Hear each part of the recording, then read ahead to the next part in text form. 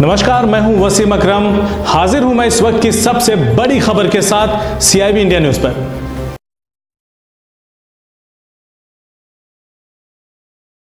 आगरा में पुलिस ने वाहन चोरी करने वाले गैंग का खुलासा किया है। पुलिस ने पाँच शातिर बदमाशों को गिरफ़्तार किया है और उनके कब्जे से चोरी की दस मोटरसाइकिल बरामद की है।